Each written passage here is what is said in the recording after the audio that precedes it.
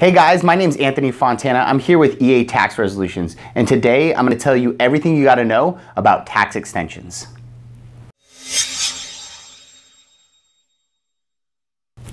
All right, so tax extensions, everything we have to know.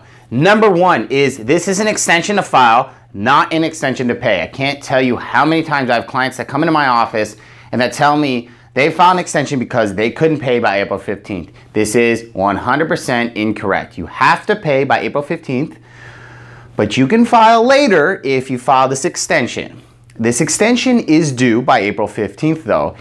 And that leads me to my number two point here is it gives you a six month extension to file your tax returns. Again, not to pay. So you have to file your tax extension by April 15th if you're an individual, and then it leaves you six months until October 15th to file your tax return.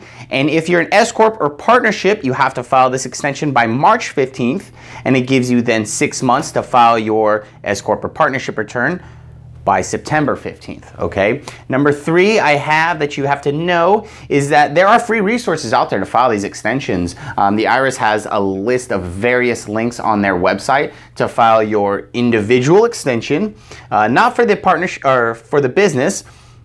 Nonetheless, you can file the extension for your individuals for free electronically uh, through the IRS website.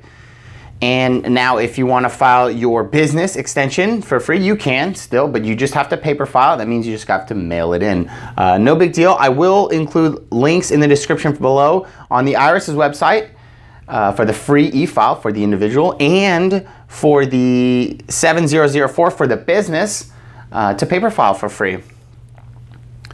Number four I have, you can make a payment with the extension. So again, this is an extension to file, not to pay. So you can pay when you file the extension, again, by April 15th if you're an individual or March 15th if you're an S Corp or partnership.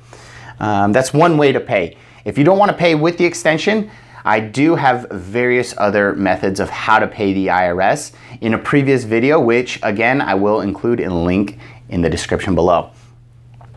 Last but not least, this tax extension can potentially avoid the late file penalty. So again, if you don't file by April 15th as an individual, but you do file by October 15th, you can avoid that one penalty um, out of the long list of penalties the IRS has. That is one that we can avoid by filing the tax extension. Uh, the reason I think the whole tax extension got set up is because, you know, the IRS doesn't give you too much time to file your return, right? They only give you about four months as an individual or three months if you're an S Corp or partnership to file your return.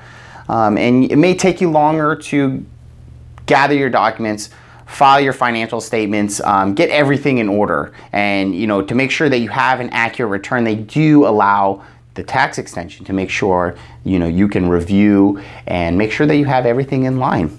Well, thank you so much for checking out this video. If you liked it, Please share uh, our video, subscribe to our channel, hit the like button. Thank you so much, guys.